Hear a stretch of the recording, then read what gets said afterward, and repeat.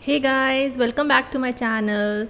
I know this video is coming after a very long time, but today I bring you an amazing text effect that we can create in Adobe Illustrator. This is super easy and it helps to give a lot of depth to your design.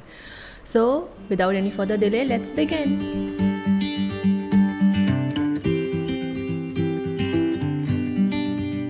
Okay, so the first thing that I'm going to do here is type my text.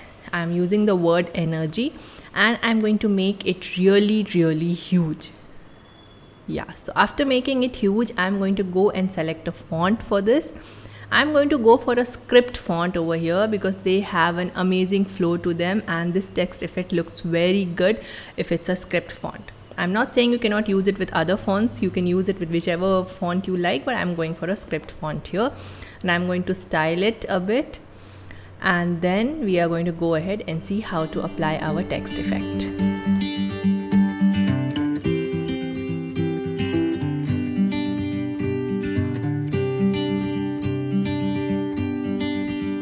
So once I am fine with the text, the first thing I do is I'm going to copy it and I'm going to forget about it.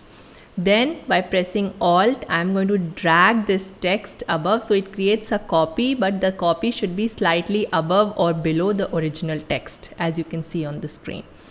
Then we select both of these, we go to object, blend and blend options. And you see on the screen that's the options you want. Specified steps and at least 100 to 200 or 300 not less than that. Once that's done Keeping both of them selected, I again go to blend and make. And you can see it has combined both of these.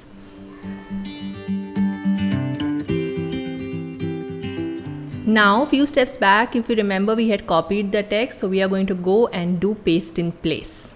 After doing paste in place, we are going to change the color of the top one that we just pasted.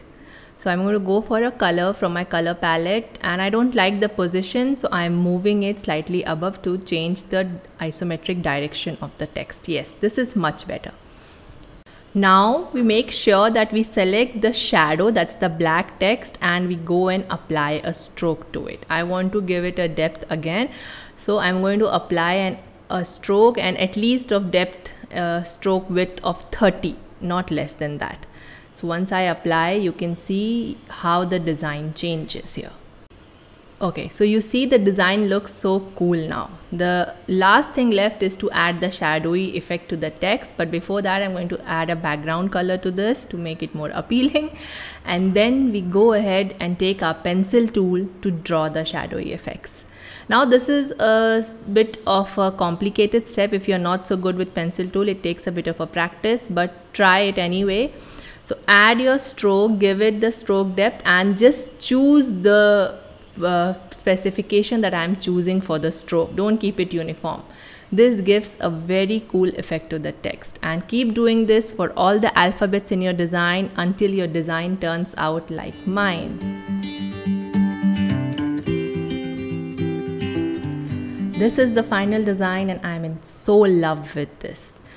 So try this out and let me know how it turns out for you all. If you have any questions, drop them below and I'll surely answer them. I hope you enjoyed this video. I'll be back again with another video. Keep watching. Bye.